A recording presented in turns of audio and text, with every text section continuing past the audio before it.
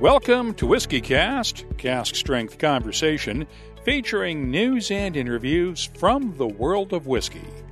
I'm Mark Gillespie. This is episode number 823 for June 14th, 2020. Coming up in a few minutes.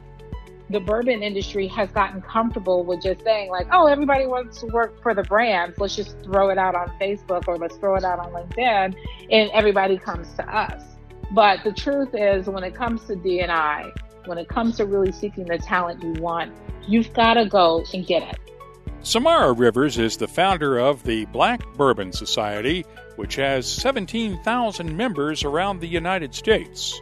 A week ago, she issued an open letter to the American whiskey industry calling on distillers and brands to commit to diversity in the wake of the ongoing protests over racism and police brutality. While some of the initiatives announced by the industry this week had been in the planning stages before that letter, their timing shows a serious commitment to change among many of the industry's leaders. I'll talk with Samara Rivers later on WhiskyCast in depth. We'll also have the What I'm Tasting This Week department, the latest event updates, and on Behind the Label, we'll look at what a whiskey blender does when her blending lab is closed because of COVID 19. It's all ahead on this week's WhiskyCast. When you land on something special, you just know. Redbreast, the quintessential single pot still Irish whiskey, and a proud sponsor of WhiskyCast. From far beyond the wall comes a whiskey for those who face the oncoming storm and never stop walking. Winter is here. White Walker by Johnnie Walker. White Walker by Johnnie Walker. Blended Scotch whiskey, 41.7% alcohol by volume. Imported by Diageo North America, Norwalk, Connecticut. Please drink responsibly. Let's get started with the news. It's brought to you by Heaven Hill Distillery. While protests over police brutality against African Americans continue, a number of whiskey companies are stepping forward to put their money and resources into improving diversity within the whiskey industry. The story of the friendship between Nathan Nearest Green and Jack Daniel, 150 years or so ago, has been told many times in recent years, but it's the focus of a new partnership between Uncle Nearest Tennessee Whiskey and Jack Daniels. The Nearest and Jack Advancement Initiative is a new $5 million program that will be centered around the Nearest Green School of Distilling that's being established at Tennessee's Motlow State Community College. Both companies have worked to create the curriculum for a program aimed at training people of color to enter the distilling industry which Uncle Nearest founder Fawn Weaver admits has been a hard sell in the past. African Americans will not naturally look at the whiskey business as being something they want to get into because I think of the history of how African Americans were in the beginning with distilling as slaves. And then as time went on, being in the roles that were not, uh, let's call it the suit and tie roles. And so I think because of that, it's not something that we've really been drawn to or attracted to. And so now we have the task of going in and telling women and people of color, hey, this is a great industry. You should give this a look and to get it to a place where people really want to get involved. The school has been in the works for more than a year. Motlow State President Dr. Michael Torrence hopes to begin classes in the fall of 2021 once the state's Board of Regents and regional accreditors sign off on the program. It'll not only focus on the nuts and bolts of making whiskey, but also the history. That is very a very very important component of this. That the culture and the history of this is also a part of the program. And you know, sans where we are today in terms of our social climate in the nation, um, this would be important because of the relationship that Jack and Nearest had and it is one of those relationships that has bore something that is of quality, uh, that has lasted uh, and, and has been strong enough to last the, the test of time. And it's a representation of this is what happens when we work together. Uh, here's the outcome. Uh, and, and I, again, I speak to that partnership with uh, Jack Daniel and Uncle Nearest in, in Motlow State. The initiative will also include professional development programs with a mentorship program aimed at helping African American entrepreneurs develop their own spirits brands, along with a career advancement program for people of color already in the industry, as Jack Daniels Global Brand Director Matt Blevins told me. We are taking people of color who are in the industry primarily and uh, bringing them into career path acceleration around head distillers, um, general management of distilleries, and other senior positions uh, in the companies. And and by the way, I think that can have um, opportunity outside of our own companies into the entire industry. So very excited uh, about what that can grow into. But we will be an active participant in uh, hiring and mentoring other distilleries have already expressed interest in becoming part of the career development program as well. We have more details on the entire initiative in the news section at whiskycast.com. Friday, Diageo unveiled its own initiative, the $20 million Diageo Community Fund that will support African American communities and black owned businesses in the hospitality industry to help them recover from the COVID 19 pandemic. That's in addition to a million dollars in support for the NAACP, the National Urban League, and 100 Black Men of America and their racial equality and social justice programs. Campari America is donating $300,000 to the Equal Justice Initiative, while the Kentucky Distillers Association kicked off a second round of its Kentucky Bourbon Affair online charity auction this week. Proceeds from the second round will go to the Breonna Taylor Memorial Scholarship Fund at the University of Louisville. In addition, the KDA is establishing scholarships for minority students interested in studying distilling at the University of Kentucky, the University of Louisville, and Kentucky State University. We'll have more on that later on. In other news, we are now starting to see some of the major distilleries in Kentucky reopening slowly to visitors following COVID 19 related lockdowns. While the state's reopening plan allowed distilleries to begin offering tours and tastings starting last Monday, they are easing into it. Heaven Hill is opening its Evan Williams Bourbon Experience in Louisville and the Bourbon Heritage Center in Bardstown Thursdays through Sundays at first, with only six people allowed on each tour. Four Roses will open its gift shop at the distillery in Lawrenceburg starting this coming Wednesday through Saturday, but with no tours or tastings for now. The visitor center at Four Roses' Cox's Creek warehouse and bottling facility near Bardstown remains closed for now. Angel's Envy in Louisville has opened its gift shop only with no tours or tastings as of yet. Last time around, we reported that a change was likely for this year's Kentucky Bourbon Festival in Bardstown, and that change was announced late Tuesday afternoon.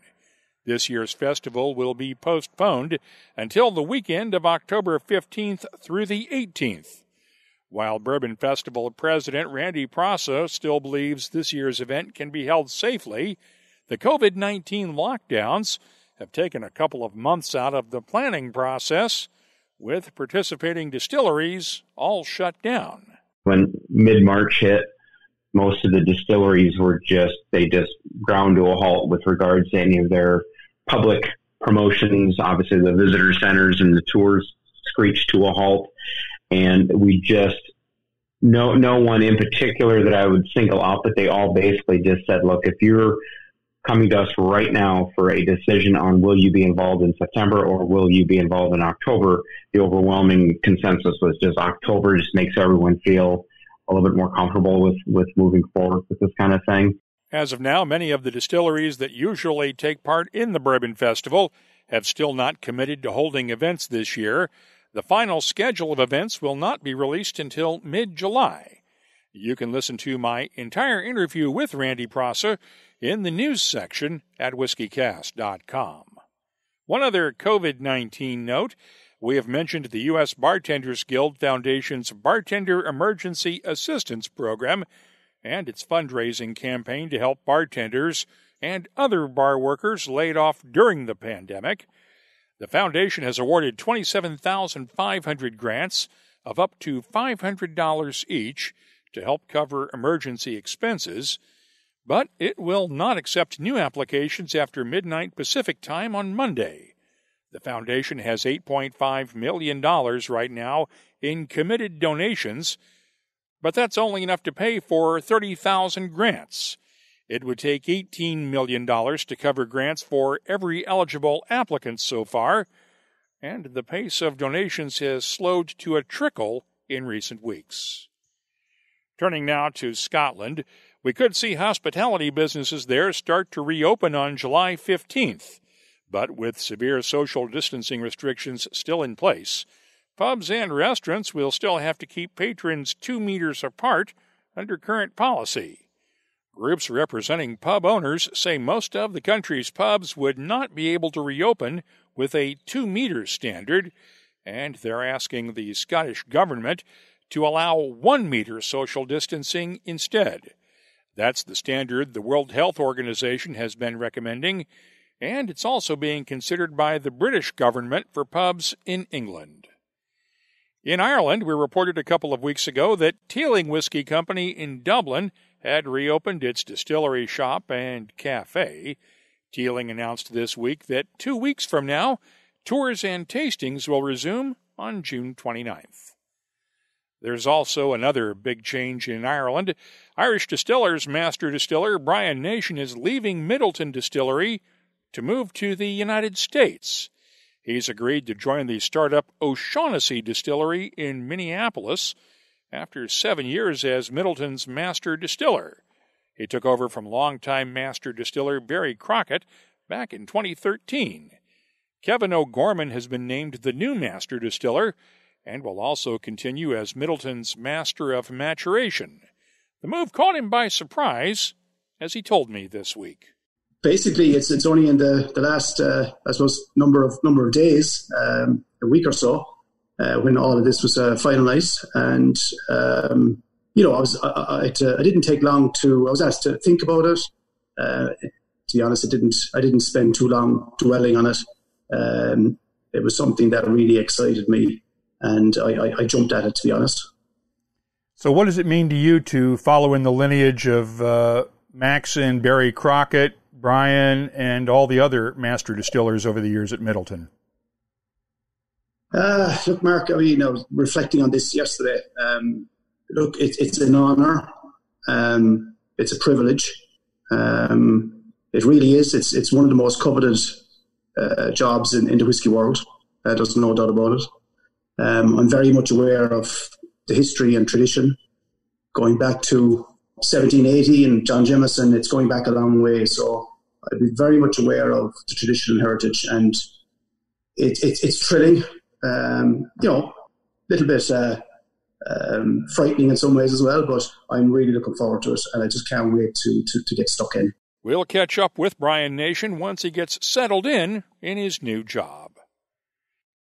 Two years ago, we reported on William Grant and Sons entering the bourbon market with a fistful of bourbon as a Texas exclusive. Now distribution is being expanded nationwide. You'll find my tasting notes for it at whiskycast.com. Canada's Forty Creek Distillery is celebrating its 20th anniversary this year with a special commemorative edition of Forty Creek 3 Grain. It was one of the distillery's two original releases back in 2000, and this release will be the final one ever for 3 Grain. It'll be available exclusively at Ontario's LCBO stores and the Forty Creek shop starting in September. Along with this year's limited edition release, Resolve would normally have gone on sale at Forty Creek's annual Whiskey Weekend in September, but there's no word on whether the event can be held this year because of COVID 19, and that means collectors will not be able to reserve bottles this year. 6,500 bottles of Forty Creek Resolve will be available nationwide in Canada starting in September. And from three grain to three barrel, Ontario's Still Waters Distillery has launched Stalk and Barrel Three Barrel Canadian Whiskey. It's a blend of the regular Still Waters single malt and rye whiskeys with corn whiskey, all matured separately in ex bourbon barrels and blended after maturation. Stalk and Barrel 3 Barrel is available exclusively in Canada with a recommended retail price of $35 Canadian a bottle. Douglas Laing and Company has released the Epicurean Edinburgh edition it's a special blend that came out of a recent blending competition among Edinburgh bartenders, with 56 North's Lindsay Blair creating the winning blend. Only 600 bottles will be available at whiskey shops in the UK, with a recommended retail price of £50 a bottle. Portland's House Spirits has released its latest edition of Westward Pinot Noir cask finish single malt it's finished in casks from Oregon's Suzor Wines and is available in limited amounts for $89.95 a bottle, with free shipping available in Oregon through the Westward website. And finally, Adam Park and Dave Broom's Scotch whiskey documentary, The Amber Light, is finally coming to video on demand. It'll be available on Vimeo on demand starting June 25th but only in the UK and Ireland at first. That's a start. They're also going to team up with Royal Mile Whiskies for a private online screening, along with commentary and a whiskey tasting on June 25th, with tasting packs available through Royal Mile Whiskies. Part of the proceeds from sales will go to the Drinks Trust in the UK to help furloughed bar workers there. You can keep up on the latest whiskey news all week long at whiskycast.com. The news is brought to you by Heaven Hill Distillery. Heaven Hill's Parker Beam made a lot of great whiskeys during his lifetime, and the whiskey that carries his name is carrying on the tradition. The 13th edition of Parker's Heritage Collection just won Best Rye Whiskey honors and a double gold medal at the San Francisco World Spirits Competition. It also continues Heaven Hill's commitment to the fight against ALS. Find out more at heavenhilldistillery.com. Think wisely, drink wisely. Time now for the WhiskyCast calendar of events brought to you by Catoctin Creek Distilling. Some event changes to note. The Beer, Bourbon, and Barbecue Festival, scheduled for later this month in Timonium, Maryland, has now been postponed until the weekend of November 13th and 14th. McTear's has changed its next whiskey auction on July 3rd to an online only event with no bidders allowed at the auction gallery in Glasgow. The Scotch Whisky Experience in Edinburgh plans to have its first Scotch Whisky training school since the pandemic started on July 7th. Though, since the experience is still closed to the public as of this weekend, that could change. As of now, it looks like the first public whiskey events to take place will be the Taipei Whiskey Club's Harmony Home Charity Tasting on July 11th in Taipei, Taiwan along with the Bristol Whiskey and Spirits Festival in England and Bacon and Bourbon 2020 in Charleston, South Carolina. Both are set for July 18th. Whiskey Live in Perth, Australia is still on the schedule for August 7th and 8th, along with Whiskies of the World events in San Jose, California on the 7th and San Francisco on the 8th, and Whiskey Fringe in Edinburgh the week of the 7th through the 9th. Remember, these days any event plans are subject to change on short notice, so make sure you check with event organizers before you make any travel plans. We are updating the calendar at whiskycast.com as we get updates. The calendar of events is brought to you by Catoctin Creek Distilling, makers of Virginia's most awarded spirits. You'll find their Roundstone Rye at fine whiskey shops in 26 U.S. states and on three continents, along with online. Visit the Where to Buy page at CatoctinCreekDistilling.com to find a retailer near you. And please drink responsibly. From deep in the north, far beyond the wall, the howl of the frozen wind brings word of something new A whiskey from the land of always winter. For those who face the oncoming storm and never stop walking. Winter is here. White Walker by Johnnie Walker. White Walker by Johnnie Walker. Blended Scotch whiskey, 41.7% alcohol by volume. Imported by Diageo North America, Norwalk, Connecticut. Please drink responsibly. WhiskyCast in Depth is brought to you by Mortlach. The American whiskey industry's history is not always a proud one when it comes to diversity and inclusion. For instance, it's impossible to talk about George Washington's legacy as one of the leading distillers of his day without remembering that his distillery at Mount Vernon used slave labor, as did many other distilleries before the Civil War. And for every story we hear about the friendship between Nathan Nearest Green and Jack Daniel, there's another story like the one out of Kentucky this weekend. Workers removing a statue of Confederate President Jefferson Davis from the state capitol in Frankfort Saturday found a time capsule of sorts in the base. The people who installed that statue back in 1936 put the day's edition of the State Journal newspaper and an empty bottle of Glenmore, Kentucky bourbon inside the statue's base.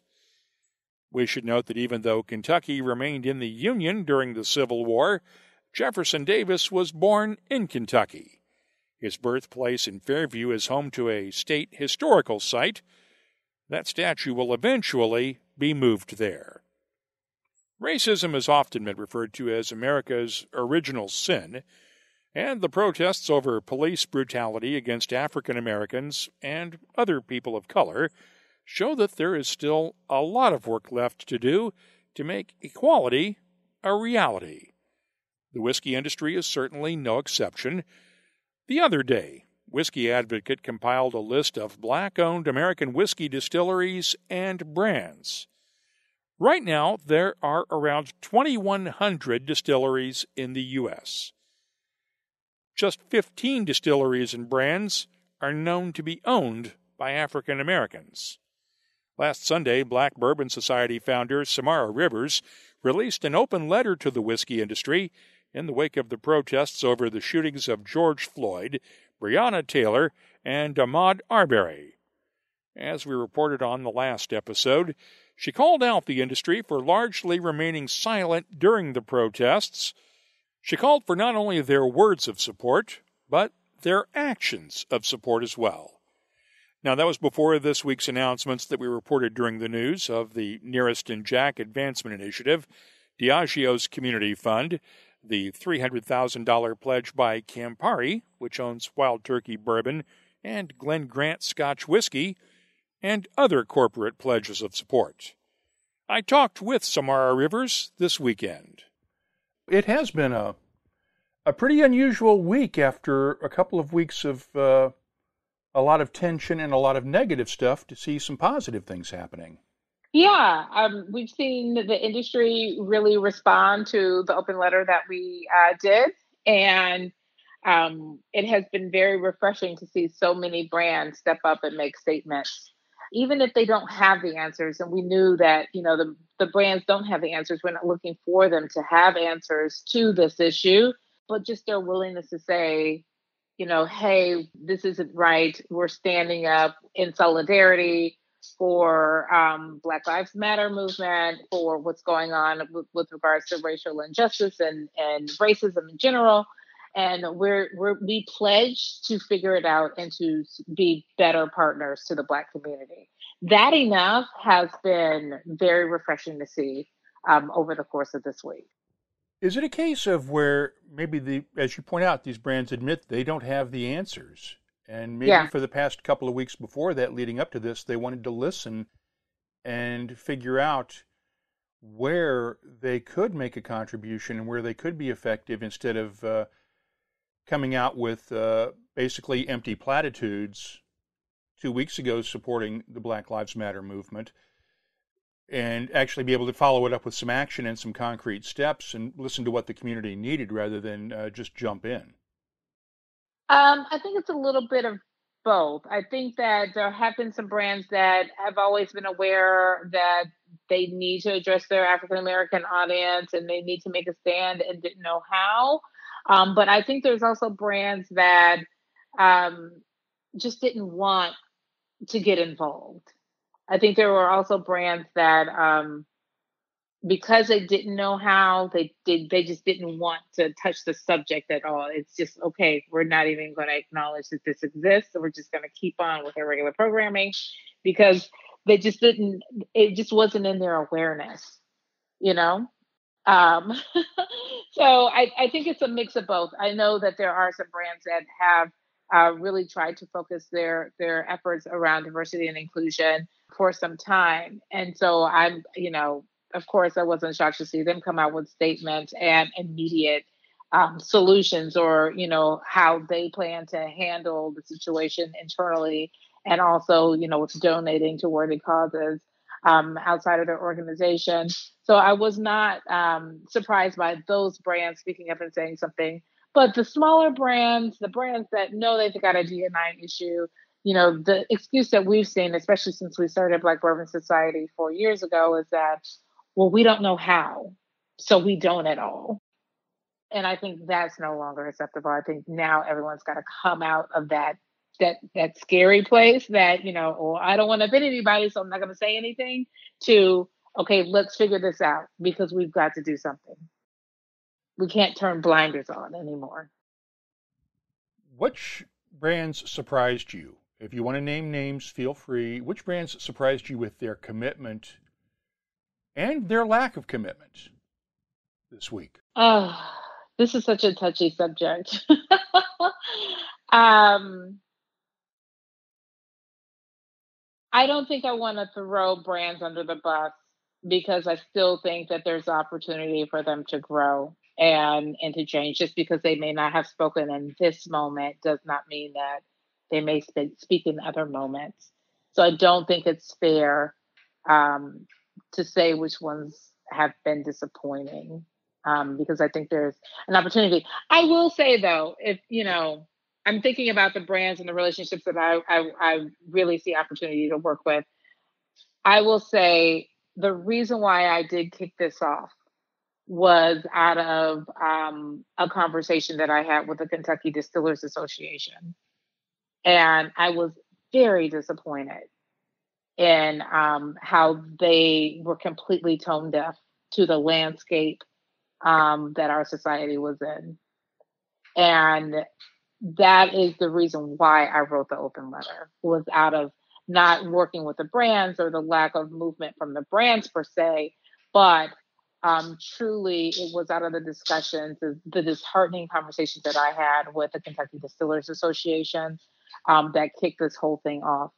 They have since come back and made a statement. I believe they made their statement on Thursday. I wrote my um, open letter on a Sunday. They they responded um, a couple days later on Thursday in response and have established a Breonna Taylor Scholarship Fund at the University of Kentucky um, to you know go towards uh, the distillers program for African Americans to um, to learn and to be more uh, trained and available to take on positions within this the bourbon industry, um, and they have some other initiatives.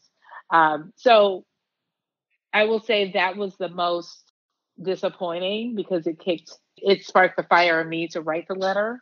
Um, but I am impressed with their decision to create the scholarship fund, and I am um, eagerly waiting to see how that will be executed and um, played out over you know the course of the year, how long it will last. Hopefully, it's a permanent initiative for the KDA.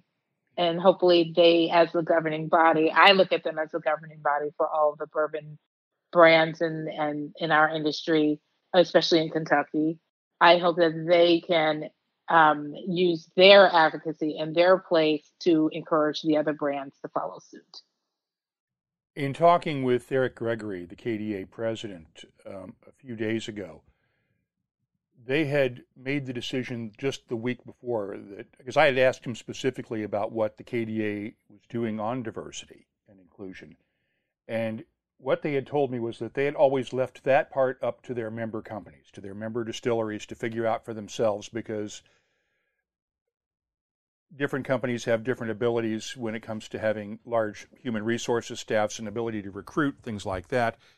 So they had not done it on a statewide basis or an organization wide basis, but right. they had agreed to form a task force within the KDA board to start looking at industry wide initiatives. I know you also uh, were not happy a week or so ago when they started a Kentucky Bourbon Affair charity auction and yeah. devoted that money to raising money for COVID 19 research. But they followed up late this, this week. week with a second auction to raise money for a separate Breonna Taylor Scholarship Fund at the University of Louisville. Right. And right. I have to imagine that that makes you at least feel a little better about their response in that regard. Absolutely. And again, you know, the thing that kicked off my um, my disappointment and irritation um, with the KDA was the fact that they had requested for me to um, extend that auction to, to donate towards COVID relief um, under such short notice. Um, and it was in conjunction with our retail partner, Westport Whiskey and Wine, which you know we we've worked with for years now. Um, doing events and and doing bottle pickups and and all of that in Louisville. Um, and so we've got a great relationship with Westport Whiskey and Wine, but really it was the KDA pushing for us to to do this um, auction and, and raise funds for COVID 19. That was also the day of Breonna Taylor's birthday. And so, for me, as an African American woman that has seen cities all across this country being ripped apart for two weeks, um, still, you know, parading the body of George Floyd down in Houston um, and marching in solidarity as they were preparing to lay his body to rest, it was extremely insensitive to me for for them to ask me, "Hey, we need you to do this auction. We need you to send it to all all of your members, and we're going to raise money for COVID nineteen. It was extremely tone deaf. So a week out after we wrote the letter, a week after they have launched their initiatives, and on Friday when they finally did announce, okay, this auction is for Breonna, you know, for the Breonna Taylor Scholarship Fund. Yes, we will proudly support you in that effort, and we will send it out to our members because it's more timely. It resonates with our audience. This is what we care about in this moment. And so, yeah, I am I'm I am glad that they did circle back and and and try to make it right. And I will always honor organizations that will circle back and try to make it right, even if they're a week late. We will always honor it. Let's talk about the extent of your society's reach because until I saw you and I, we've talked before and we've reported on the Black Bourbon Society before, but I didn't realize until I saw that letter that you have 17,000 members around the U.S. Mm-hmm. I figured a few hundred. And 17,000 is a big society. Let's mm-hmm. put this in perspective for those in our audience who weren't aware of that. This represents a significant market share for the industry, doesn't it? Absolutely. Um, African Americans um, spend about $3.5 billion a year on wine, spirits, and tobacco. We are a significant part of the buying power of this industry. And of course, when you look at our percentage, you know, on a national scale, we're only, you know, a small percentage of people in America, but we over index in spending across the board. And so, yes, we do have a lot of buying power. And I think people also have to realize that we have 17,000 members, but each one of our members has their own network of hundreds and thousands of people. And so, for instance, we put it out to our members, but we also put it out to the bartending guilds. We also put it out to other organizations, other um, bourbon societies picked up the letter and spread that letter to their audiences. And so our reach really is bigger than that 17,000 um, number that that we report. Um, just you know, with the way the social media is set up and the way things go viral, um, it's really probably times three or four of that number, maybe even five. One of the things you also called for in your letter was increased diversity within the bourbon and American whiskey companies in terms of hiring. Yes. And that has been a problem for many, many years. We had a discussion on the Wednesday webcast this week with uh, Fawn Weaver from Uncle Nearest, but uh, I want to play you a cut from that webcast, and you'll also hear in there from uh, Brian Treacy of Sagamore Spirit and Adam Spiegel of the Sonoma Distilling Company, because we talked specifically about the need for diversity in hiring and promotion within the industry. So I want you to listen to this for just a second. The biggest issue we have, I think, is actually making this industry cool for us, showing us that this industry has come a long way and it is a great place to be now. But we have to get that message out. I, I can go and travel to all of the HBCUs, the historically black colleges, and go to their STEM programs and meet with the students and say, hey, did you know distilling is an issue is like is an option for you? I can tell you maybe one out of every thousand would say, Oh yeah, I thought about distilling, but I doubt it. I think across the board, I don't think I would get anyone who even thought about it. And so there's a multi-pronged thing. Uh, we're actually announcing top of the morning. Uh, and you're going to kill me because if I had done this with you on Friday, I could talk about it. But we're announcing a pretty massive initiative tomorrow morning and we're doing it in conjunction with our friends Jack Daniels. So oh, come on, Fawn, you can tell I can't, us. I can't listen. Lawson Whiting was uh, was on CNBC yesterday, and and uh, and even he kept it in. So I was like, I got to keep it in, Mark. I can't I can't say what it is, but it is something that I do not believe would have happened in this industry if it weren't for the last two weeks.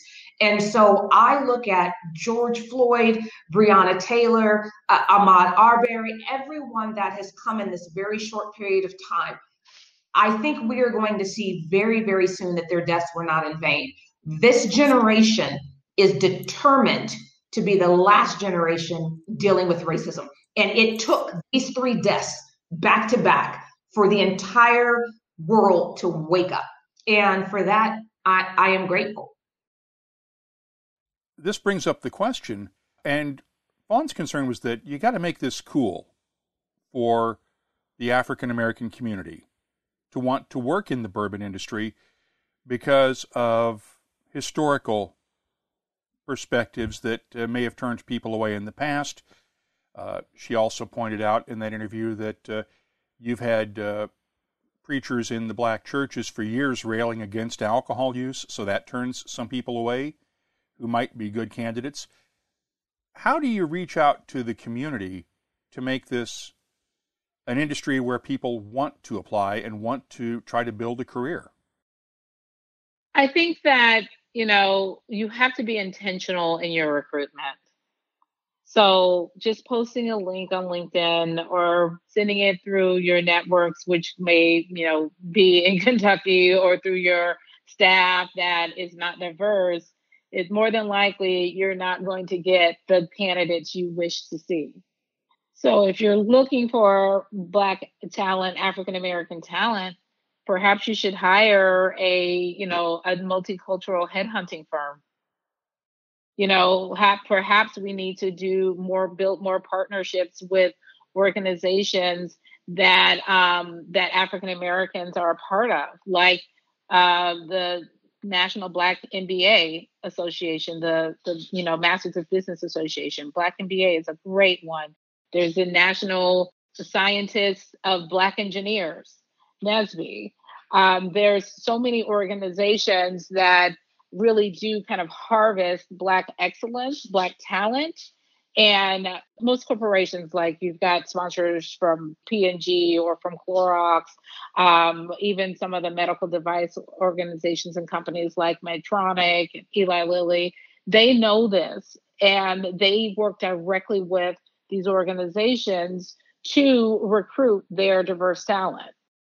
So I think that the bourbon industry has gotten comfortable with just saying like, oh, everybody wants to work for the brands. Let's just throw it out on Facebook or let's throw it out on LinkedIn and everybody comes to us.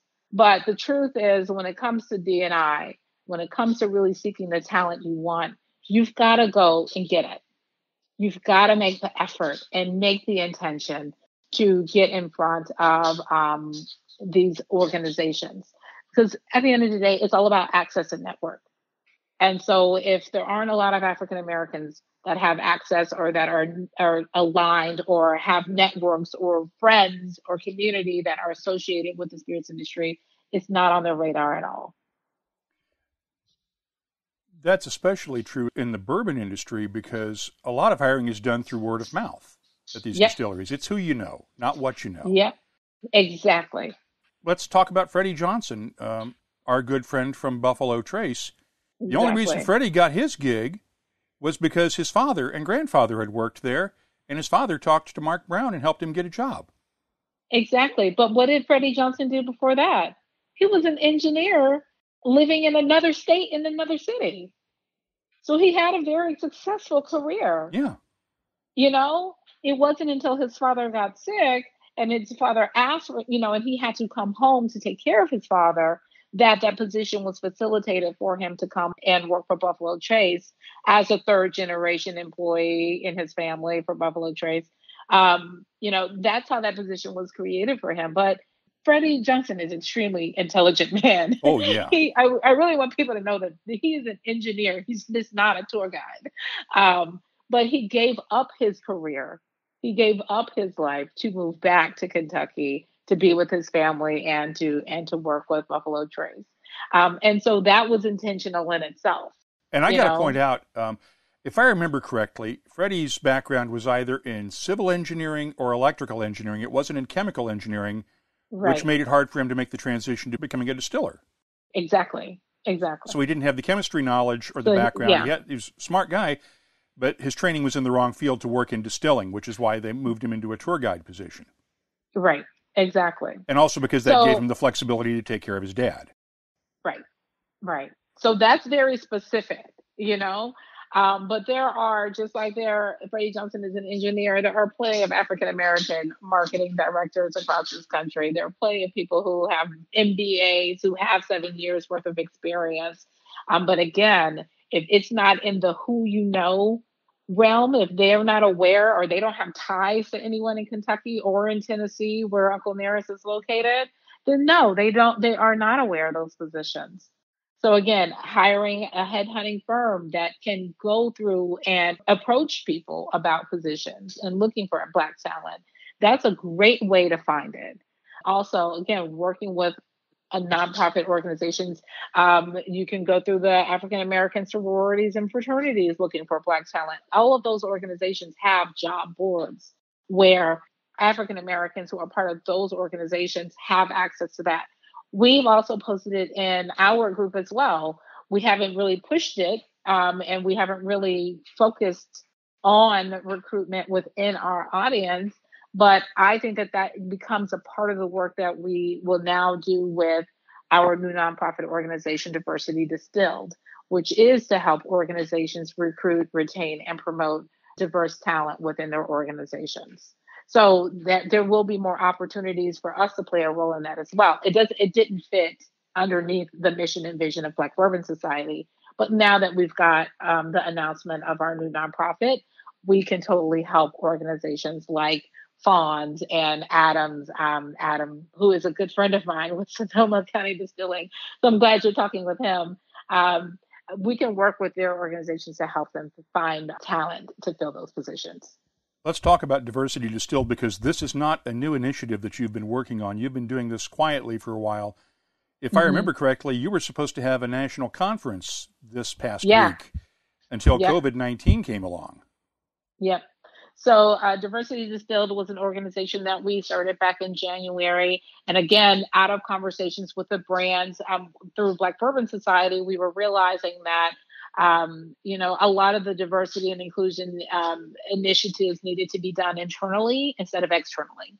So, if we just take a step back, Black Bourbon Society was created to help brands be able to reach African American consumers who love whiskey and to really build some genuine connections and helping them with their marketing strategies um, and all of that. So it was more event facing, event um, event forward, um, consumer forward um, of an of an organization of a of a business model um, working with the brands. We were we found ourselves being the bridge between the brands and the consumer. Um, but as we have as we are now entering into our four years of doing that and have received much success, we see diversity distilled taking a more insular look at the brands and looking at their D&I structures within the company and seeing how can we influence and leverage and consult and strategize change so those organizations are more diverse. Because the truth is, the brands had an issue reaching out to African American consumers or consumers of color in general because the people creating the strategies were not diverse. And so when you talk about if you want things to change, you've got to change it from the inside out. And so that's what diversity distilled really wants to do. So we want to look at these brands internally and help them to recruit great talent, diverse talent, help them to retain them because we've noticed that um, most brands, if they do have diverse talent, they are typically at the lower level positions. They are typically in positions that um, you know are forward facing, consumer facing. They're either stuck in um, a, a bucket called the multicultural division, which doesn't have a lot of leverage to get out of that division. So once you've worked in those positions for two to three years and have exceeded expectation, there's no pipeline for them to grow within the company. And so we want to look at how do we retain the, those employees, but then also promote them and push them into positions of management and leadership. And um, that's where the change makes. The change honestly makes it at the top. And when you look at all of these organizations and you look at all of their executive leadership teams, um, it's typically a bunch of white men, old white men sitting at the top of these organizations and we need to have some additional seats. It's fine that it's old white men that sitting at that table, but there also needs to be women, and there also needs to be people of color of all races sitting at that table as well, helping to make organizational change for those companies. It's really about being more inclusive, having more equity. We look at job training opportunities like I said earlier, we have a great relationship with bartenders and with the bar community that um, are looking for opportunities and ways to get into these organizations, but may not be qualified to actually take on those roles as marketing director, as a sales rep, as on or off premise brand ambassador role. And so we are looking to partner with organizations to give provide training um, for them so that when those positions do come up, they can be prepared to apply and go within the organization. Um, and again, when it comes to recruitment, that taking taking a larger step back than it is looking at internship opportunities for college students. It is looking at how can we support the the um, universities and the programs that are um, training diverse talent um, to become our next distillers and um, how do we put how do we position them for positions of mentorship and internship so that they can be prepared when they graduate and go into the, the industry as well. On that note, when I was talking with Fawn, she mentioned trying to recruit at the historically black colleges and universities and going mm-hmm. to their science departments and their engineering departments and uh, talking to their students about uh, have you ever thought about getting into the distilling industry? There's opportunities here for you and Absolutely. maybe one out of a hundred kids had even thought about it. Exactly, exactly. Because again, it's not on their radar, and we see this in other areas, right? So like the students who come out of Wharton or the students who come out of Yale Business or Harvard Business, we know those students that come out, out of those programs, they are fast tracked right up to Wall Street, you know? So they have, but it's just the way that the pipeline is set up for a college into corporations that they work with. I attended a historically black college um, in Florida. I went to Florida Ag- Agricultural Mechanical University. And when we graduated out of those programs, the majority of my colleagues and my classmates got hired by companies that had relationships with the university. So a lot of my friends went up to Cincinnati and worked for Procter and Gamble or for Eli Lilly. a lot of them went to Medtronic in Minnesota or Target in Minnesota because those companies had invested in our in our college. So when and we're there for every single, you know, career fair, for every single internship opportunity. And so when they knew those kids graduated from college, they had positions ready for them. But again, that's intention on the company side, on those brand side. And that's what we and that's what our industry needs to do. Adopt a HBCU and make sure that you are providing internships for those students. Make sure that you are going to their recruitment fairs, letting them know that there are open positions. So when they graduate, they can apply and go directly into those companies. Um, that is going to be crucial. That's a big part of our push as well um, for diversity distilled and just really being, again, that facilitator between the brands and the HBCUs um, to make that recruitment effort happen. Have you gotten any pushback at all since that letter went out? No. Good. No.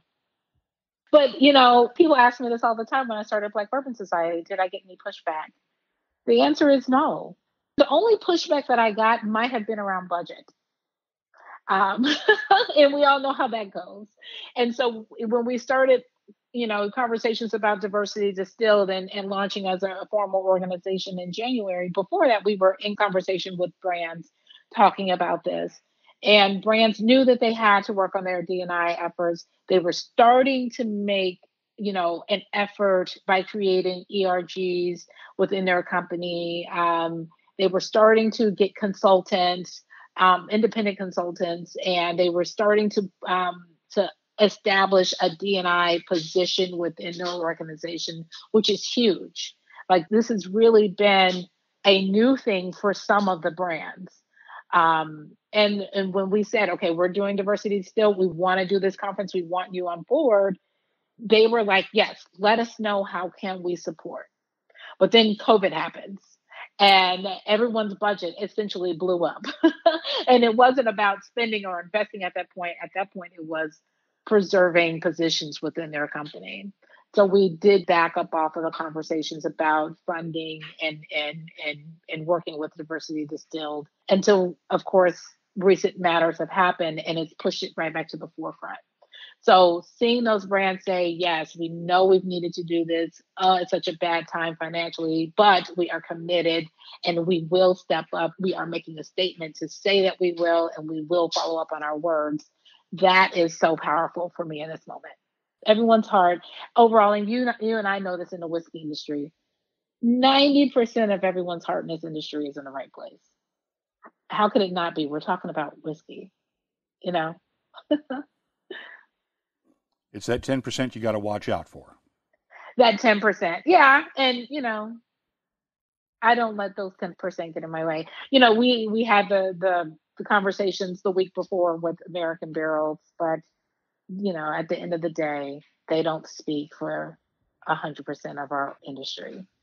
We have included links for both the Black Bourbon Society and Diversity Distilled in the show notes for this episode at whiskycast.com.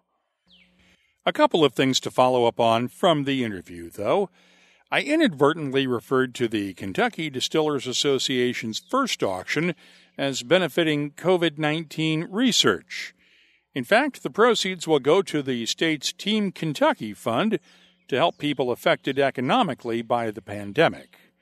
As for the response from the KDA, I checked with the association after the interview. And there is more to it than just the current auction to benefit the Breonna Taylor Scholarship Fund at the University of Louisville and the scholarships that we mentioned during the news at the University of Kentucky's Beam Institute, along with the University of Louisville and Kentucky State University. There is also a task force that I mentioned during the interview that will include diversity experts from outside the industry. We also should note that the timing of the COVID 19 auction on Breonna Taylor's birthday was somewhat beyond the KDA's control, according to the association. They went through a period of having to get approval from the state to hold the auction in the first place that took a couple of months because of the pandemic. They finally got state approval to hold the auction and started it that very day, which happened to be Breonna Taylor's birthday. We have also included a link to the KDA's statement on its website in our show notes as well. That's WhiskyCast in Depth, brought to you by Mortlach, whiskey's best kept secret.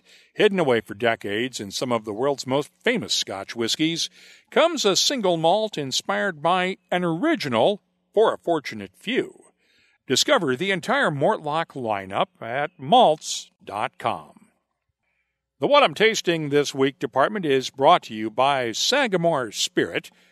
Let's start with a couple of recent releases from Washington's Woodinville Whiskey. Their straight bourbon is distilled in a pot still, not a column still, as most bourbon distillers use. It's bottled at 45% ABV. The nose has notes of charred oak, molasses, honey, brown sugar, and a hint of dark chocolate. The taste is spicy but well balanced with hints of clove and black pepper, complemented nicely by honey, molasses, brown sugar, and a hint of anise. The finish is long with lingering spices balanced by a nice sweetness. I'm scoring Woodinville Whiskey's straight bourbon a 92. Now, Woodinville takes some of that straight bourbon and finishes it in port wine casks. The port wine cask finish is also bottled at 45% ABV, and there is a noticeable difference. The nose has notes of dried fruits, along with muted spices, a hint of oak tannins, honey, and vanilla. The taste has a good balance of dried fruits and spices, with clove and black pepper, but there are also hints of apricots and plums, along with vanilla and brown sugar. The finish is long and slightly tart, with a good balance of fruitiness and spices. I'm scoring Woodinville's Port Cask finished bourbon a 93. I'll have more tasting notes in just a minute, but first, this week's tasting notes are brought to you by Sagamore Spirit Rye Whiskey and its new Brewers Select Rye Ale Barrel finish. It's a collaboration between Sagamore Spirit in Maryland and Sierra Nevada in California, where they filled Sagamore Spirit barrels with their red ale beer, then shipped the empty barrels back to Maryland to give Sagamore Spirit Rye a unique touch. Look for it now at select retailers and get the whole story at sagamorespirit.com. One more bourbon, this one from High Wire Distilling in Charleston, South Carolina, which makes a batch of bourbon each year from locally grown Jimmy Red corn that's unique to South Carolina. The 2019 release of Highwire's Jimmy Red Single Barrel Bourbon is bottled at 46% ABV. The nose is aromatic and spicy with hints of white pepper, oak tannins, sawdust, molasses, and a hint of honey. The taste is well rounded with an intense flavor led by cinnamon, white pepper, and chili powder spices, balanced out by honey, molasses, vanilla, and a hint of oak. The finish is very long with spices that gently fade to reveal touches of red apples and molasses.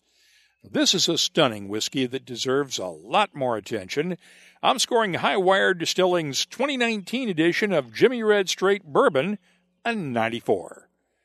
And finally, let's look at Stauning Whiskey's vermouth cask finished Danish rye whiskey. It's bottled at 61.2% ABV. As you might expect, the nose is warm and spicy with notes of clove, honey, molasses, cocoa, and a hint of maple. The taste is thick, chewy, and spicy with black pepper, clove, and chili powder notes that fade to reveal hints of apples, cocoa, honey, and maple. The finish long and mouth-watering with subtle fruits and spices. It's intense and full of flavor. I'm scoring Stauning's Vermouth Cask Finish Rye a 92. The What I'm Tasting This Week department is brought to you by Sagamore Spirit Rye Whiskey. I'm adding these tasting notes to our searchable list of 2,900 different whiskeys from all over the world. Check it out this week at whiskycast.com. The search never ends, but it's nice when you can come in for a landing pause and explore the silky smoothness of single pot still Irish whiskey, matured in the finest bourbon and Oloroso sherry casks. Land on Redbreast, then be sure to pass it on. Proud sponsor of WhiskyCast. You might notice a little bit of natural sound in the background uh, birds, maybe a little bit of wind, uh, maybe a lawnmower or leaf blower in the distance. It's a beautiful day here in Haddonfield, the charming yet regrettably dry town of Haddonfield. So I decided to bring my recording gear outside and sit out by the fire pit in the backyard after dinner to record this episode. But that's the reason for some of the background noise. Now, if the weather would actually cooperate one of these days, I might do the same thing for our Whiskey Wednesday webcast or our happy hour show on Friday. I hope you'll join us for this week's Whiskey Wednesday webcast.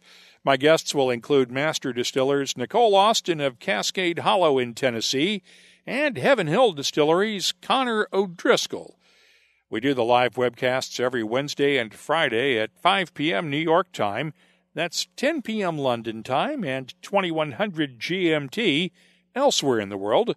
You can watch the webcasts on the WhiskyCast Facebook page, along with YouTube, Twitter, and Periscope. And if you missed our webcasts this week with Fawn Weaver, Brian Treacy, and Adam Spiegel on Wednesday, and the Friday night show with Dhaval Gandhi and Rachel Barrie, you can always watch the replays on demand at our Facebook page and on our YouTube channel. Let's open up the inbox now for the calendar of events brought to you by Lot 40. Longtime listener Ken Goldenberg posted this comment on our YouTube channel following the Whiskey Wednesday webcast with Fawn Weaver. Here's what he had to say. I love the narrative that is done by actor Jeffrey Wright on the Uncle Nearest website. In fact, when I first saw it, I thought he was part of the family. It was so well done. The genuine untold stories that are out there of the contributions of these people towards our American foods, drinks, and so much more need to be put out there for all. We all connect through food and drink much more than we know, and that's true all over the world. How many people right now, of all colors, even know who George Washington Carver was, let alone all the unsung enslaved heroes? I admit I have not yet tried Uncle Nearest, but my local Trader Joe's has carried it for a while, so I need to pick some up. Cheers for a great episode, Mark and all. Thank you for the kind words, Ken. Now, we had an interesting question on Twitter from at Joseph Trotter V2 this week. I've at various points wanted to research the link between money made from slavery slash reparation to Scottish slavers and its investment into the Scotch whiskey industry in the late 18th, early 19th century. There is a lot sloshing around, I don't mean whiskey, which is never acknowledged. Turns out there is some research being done on that very question. Derek Bratt is working on his PhD in archaeology at the University of the Highlands and Islands in Scotland and tweeted that he's been researching the subject and added this Keep your eyes peeled for an article in the coming months. Maybe not as bad as some industries, but certainly not innocent. I'll let you know when that article is published. Meanwhile, at Mike W. Simpson had this question on Twitter Sunday. Couple of questions for your next episode, or one down the road.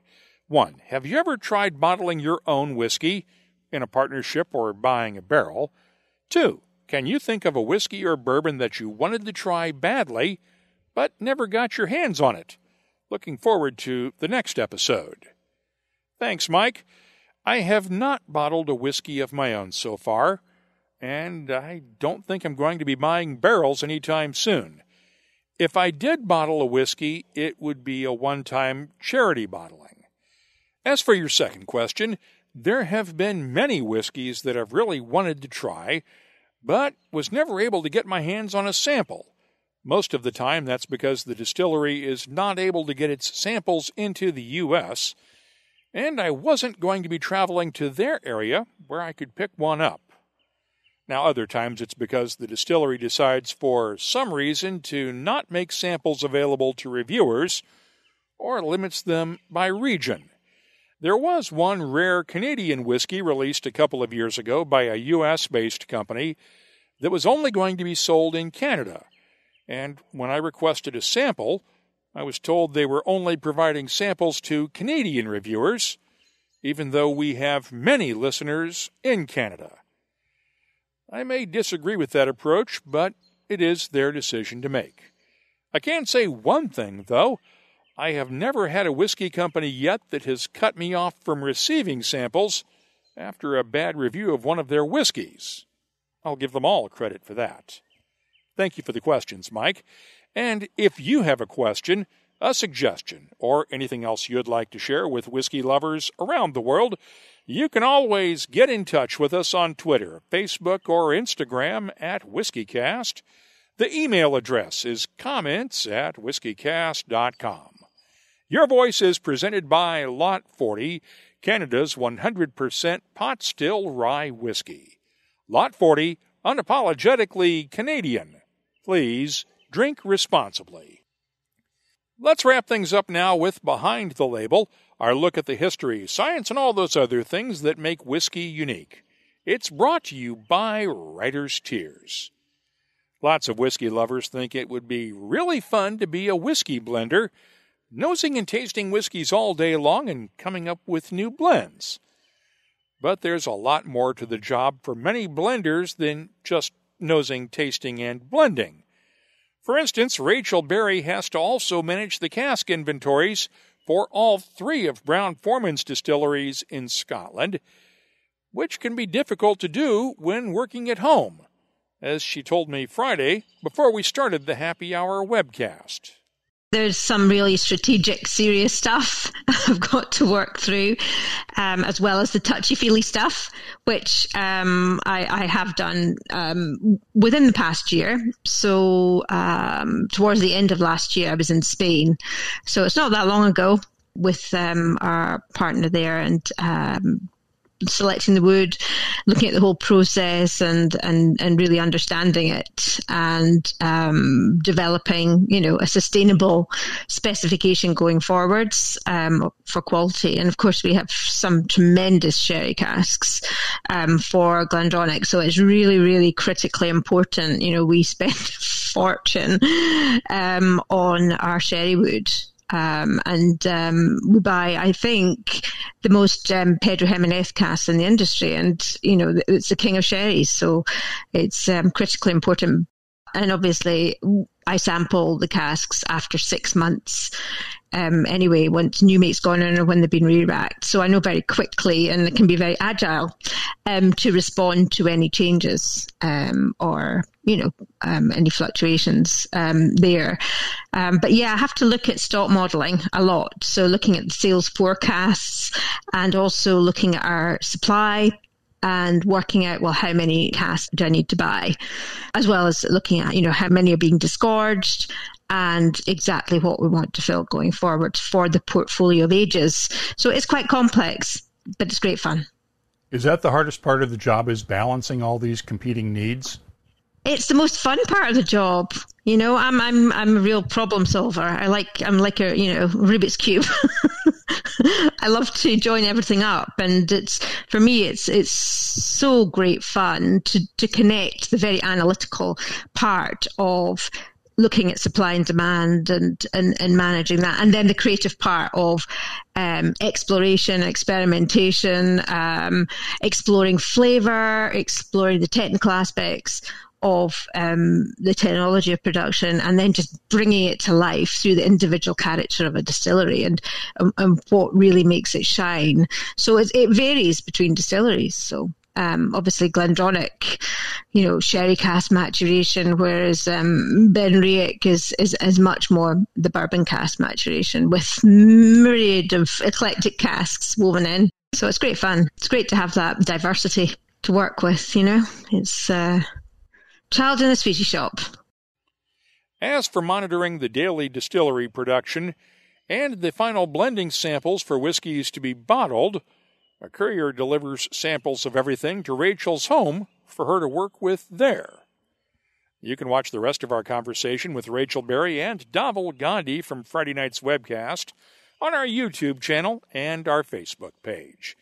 If you have something you'd like us to look at on an upcoming episode, just use the contact form at whiskycast.com to get in touch with us.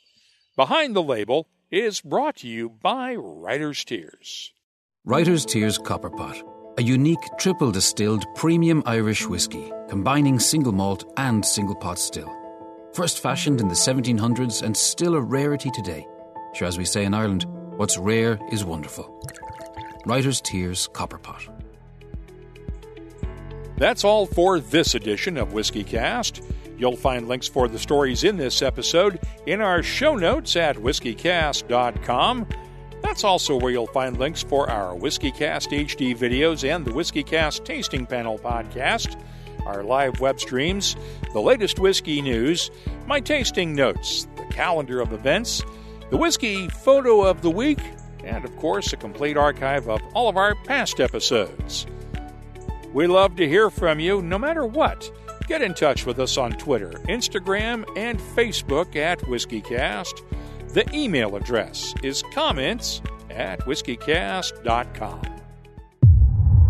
From far beyond the wall comes a whiskey for those who face the oncoming storm and never stop walking. Winter is here. White Walker by Johnnie Walker. White Walker by Johnnie Walker blended Scotch whiskey, 41.7% alcohol by volume. Imported by Diageo North America, Norwalk, Connecticut. Please drink responsibly. When you land on something special, you just know. Redbreast, the quintessential single pot still Irish whiskey, and a proud sponsor of WhiskyCast.